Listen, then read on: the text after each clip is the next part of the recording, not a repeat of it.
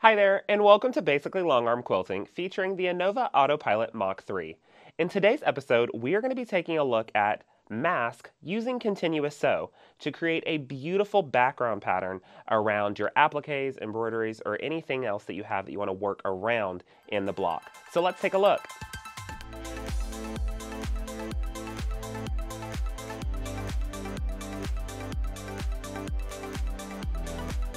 So looking at how mask works, um, we're looking at this with this block that we're working on right now.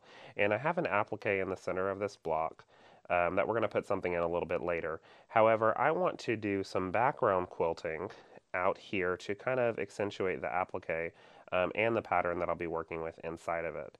So what I want to do is I want to draw a boundary around this outer portion of this block so I can place in my background pattern.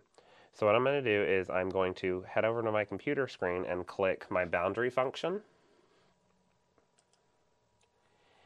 And I want to do this boundary with an input of sew head, um, and then our method of morph to fit will be great. So I'm going to head back to my machine, and you'll notice on both the screen and on the quilt how the clicking process is going to work.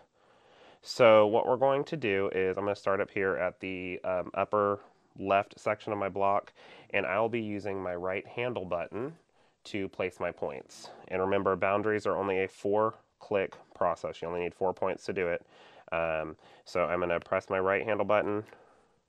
I'm going to come down to the bottom left of my square, right handle button,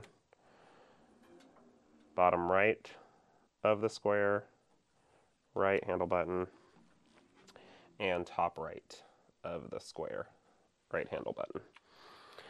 And as we notice on the screen, it has grayed out that section and it's given us our boundary to work from. So we're gonna go ahead and click on done because we're happy with what we've done. And I'm gonna go search for the background pattern that I wanna use. So I'm gonna go in my pattern library and I'm going to be looking for a Linda Taylor fill pattern. Um, so I'm going to go and search by tag. So I've selected by tag. And I'll scroll down to the bottom of my list and I've got Linda Taylor.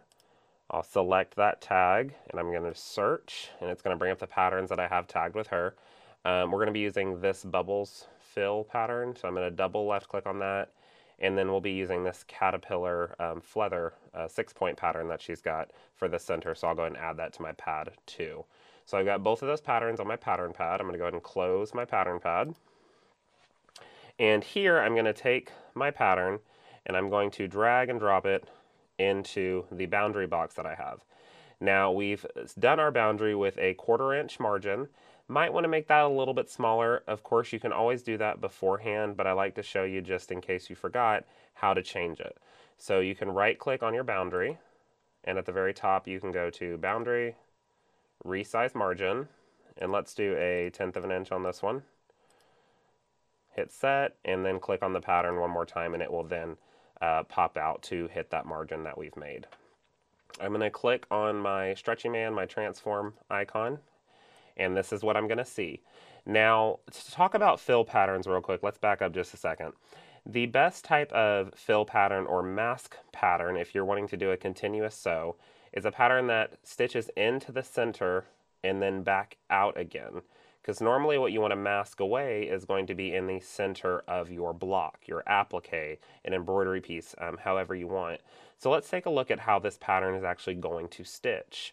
Um, so I can go right down here uh, to this little machine that says Sew Options. I can click on this. It's going to highlight the pattern. And right over here on the right hand side, we see Sewing Preview. And we can start that and it's going to show you how this pattern is going to stitch. So watch and see how it's going to come in to the center, and we can speed it up even if we want to, and back out again. It's going to go into the center, back out again. Now having that benefit of into the center and back out again is going to use the least amount of space on your applique to do the little bit of stitch in the ditch that it has to to continue on to the next piece to keep the continuous sewing. So having one of these patterns that go in and back out are really going to help you um, with that process. So we can close out of this. And then what I'm going to do is also I need to create a push pin uh, pattern or block or boundary around the applique that I have in the center. So I'm going to go back to the quilt And I'm going to take my machine, and my left handle button is going to be my placing of my push pins. And especially when you're doing a mask, uh, the more points that you click, the better, uh, just to be more accurate. So we're going to click these around by just by pressing that left handle button.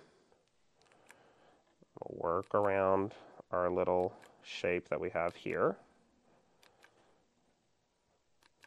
Just like so.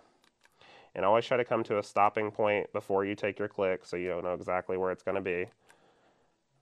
Coming all the way around, and we're just almost done. Right over here. Just like that.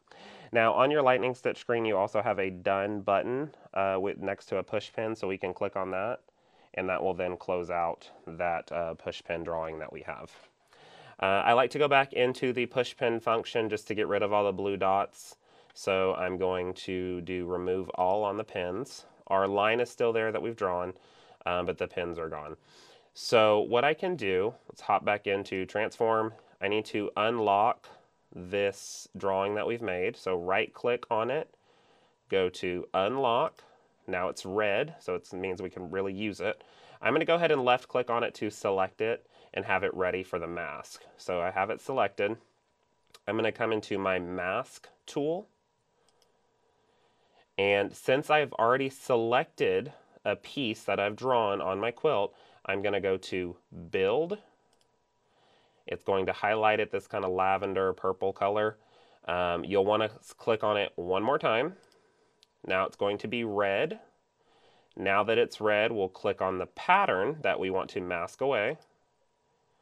And it's going to let me know that I have my push pin mask selected. I have my pattern selected. I want to do a continuous sew because I want to keep this stitching continuously. And the masking is what we want to get rid of, so mask style. So if I want to mask away something, think about putting a patch on it. So what do I want to get a patch away? Do I want to get uh, put a patch or tape or mask away this inside of this piece, or do I want to mask the outside?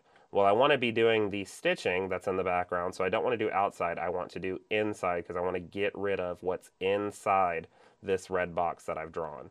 So inside selected, I can go to accept, and just like that, it has done our mask. So we can um, hop out back to our transform tool, and you'll see that it has that built just like so, right there ready for us to stitch.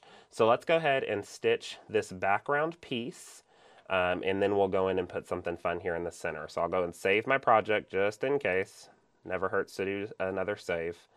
And then we're going to click go, and we'll head on over to the quilt. We'll click on continue.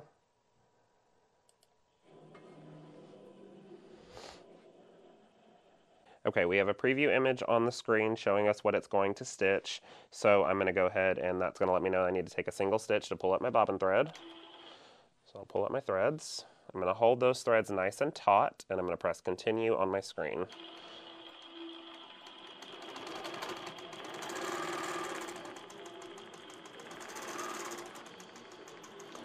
So you can see it's going to come in, use a little bit of that applique, and then continue moving on. Um, so it's always really important that when you are clicking out your points around your applique that you do more, um, so it's a little bit more accurate for you uh, when it's doing its mask. So it's I'm going to work around and do this background quilting. Um, super cute, super fast, and it's going to look absolutely great.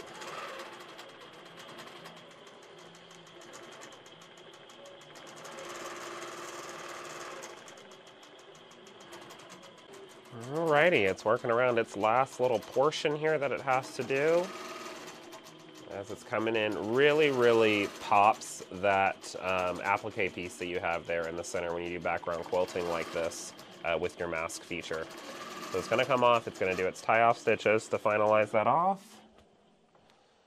Once that's done, I can pull some thread back away, come back, take a single stitch where it stopped, back up again, and trim my bobbin thread away.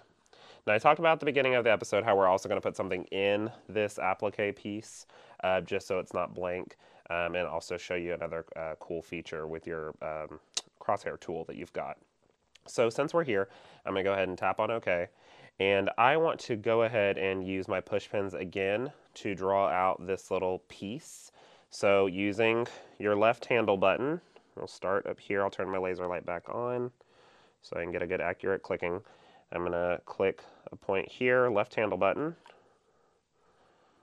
Come on over here.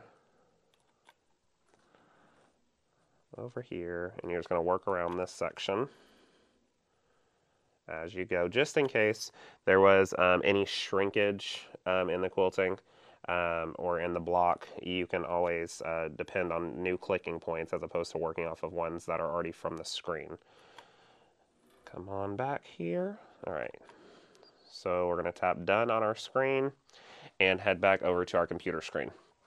So if we zoom in just to talk about shrinkage real quick, you can see how off it is a little bit. That's how much shrinkage we had in this block. So if I would have relied on the previous quilting, the block that I might put in it might be a little bit smaller and would have um, accidentally quilted into something else or not exactly where I needed it to be.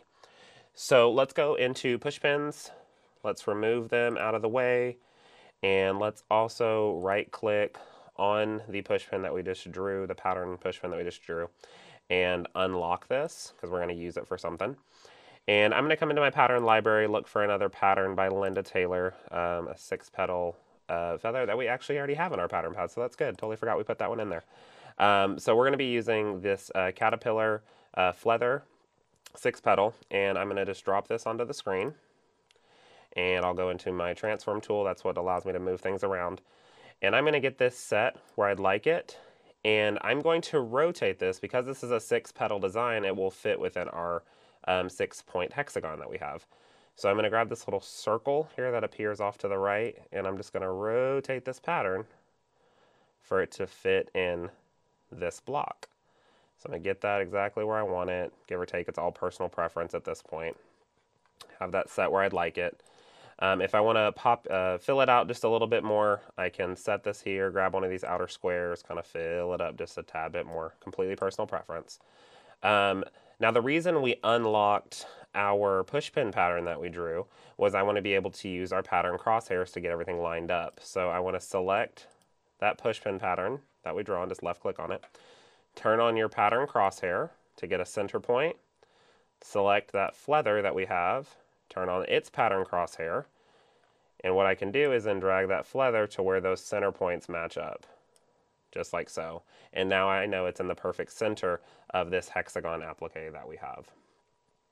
So I've got that set there. It's green, which means it's going to stitch. So let's go ahead and save our project and click go. It's going to build the profile for it. Um, whenever I see the continue button, I'll click that. The machine's going to go ahead and move to its starting location. Once I see the preview of the image on the screen, lets me know take a single stitch, pull up my threads, hold these nice and taut, press continue. And I'm to be close here, and I'm to be ready to hit pause, trim my threads away, and then hit continue again on my screen.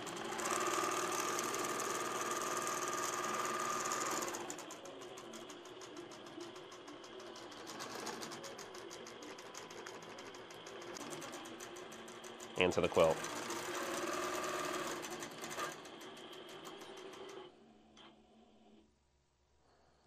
Just like that, that block is done. So what we're gonna do is push the machine away, come back in to the point, take a single stitch,